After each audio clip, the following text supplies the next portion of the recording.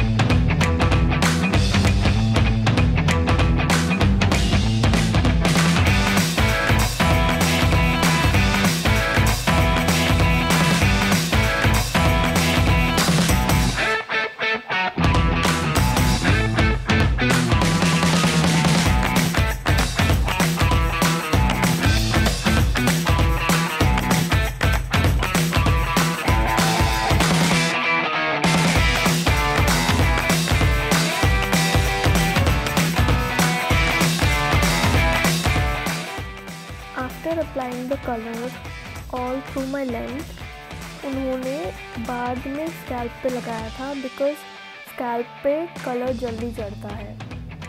और अगर स्कैल्प पे लेंथ के साथ ही लगा दिया तो अलग अलग शेड्स हो जाएँगे।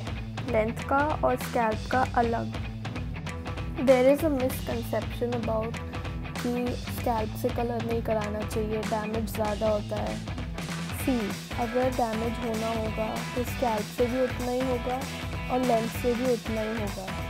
और डैमेज को कंट्रोल करने के लिए you can always opt for hair spas and regular oiling coconut oiling से your hair colour might not fade also decreasing the quantity of shampoo you use and make sure that you use your shampoo only on the scalp और length के लिए हमेशा conditioner use करो।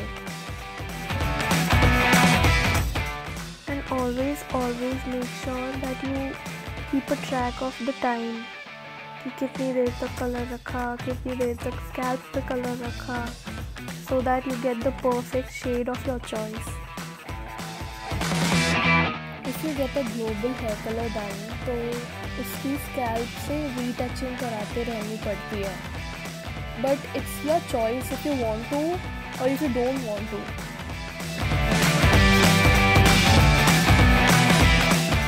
and it goes without saying कि अपने colour को longer last कराने के लिए you should avoid using electric appliances on your hair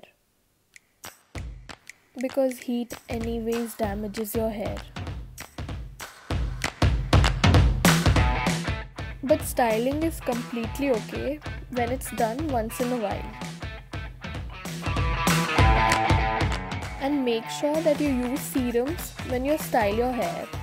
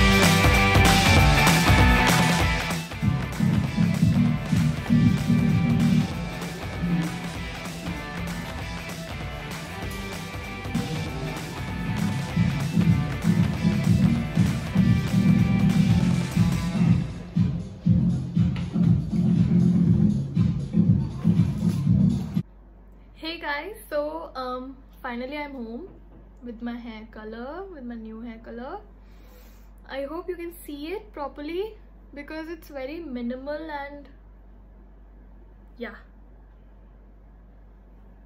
so this is my new hair uh, I got it done from uh, Looks Select City Walk Saket. Um, the guy who did this was, uh, his name was Rahul.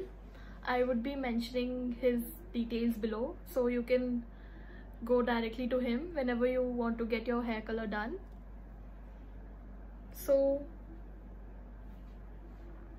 yeah, this is how it turned out. I'm very happy by the way by how it looks. So I will see you guys in the next video. I hope you like this one. Bye bye.